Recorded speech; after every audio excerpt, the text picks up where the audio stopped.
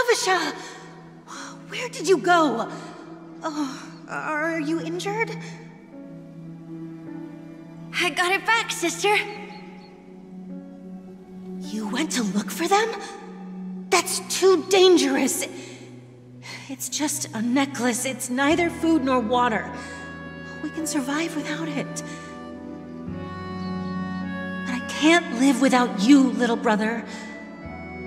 Promise me not to look for those Katicans again, okay? Sister, don't be afraid. The Katicans are fools, but I'm smart. I played a game with them, and I won. Won? What happened exactly? Tell me. I made a bet with them. The two birds in the desert and me. Who will die first? I won. They suspected me of cheating, but I didn't. I won fair and square. Of course. Of course you'd win. You've always been a lucky child. Gaiathra Triclops must be watching over you. But that's no reason to push your luck by going up against those... those bloodthirsty, cruel Katicans. Have you forgotten how Mom and Dad...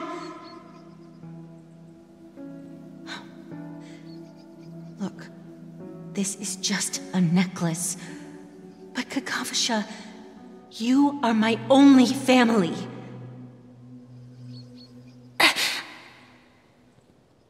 I'm sorry, sister.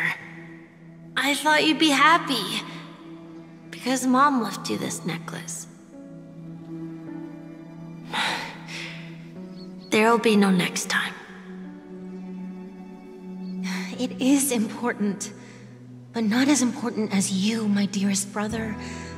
I, I don't blame you, but you must remember what Mom said. Pain and poverty are the trials of Gaiathra Triclops. She has also granted us a chance. And that's your good luck, Kakavasha. Your good luck is the most precious wealth we, all Avgin, have. You're a child blessed by Gaiathra Triclops and can lead the clan to happiness. So always remember to protect yourself and never resent the pain and poverty you're going through. All right? mm-hmm. Listen to me and swear to Gaiathra Triclops. Okay. I will swear to Gaiathra Triclops to protect this wealth. But sister, if Gaiathra Triclops was really watching over us, then why did she not protect Dad when he was swept away by the quicksand? After all, Dad went to the Katicans land only to prepare for Gaiathra Triclops' offerings. And where was Gaiathra Triclops when Mom was shivering in our arms? Mom was still pleading for Gaiathra Triclops' forgiveness under her breath until the moment she closed her eyes. Sister, everyone praises me for being smart, but I don't get it.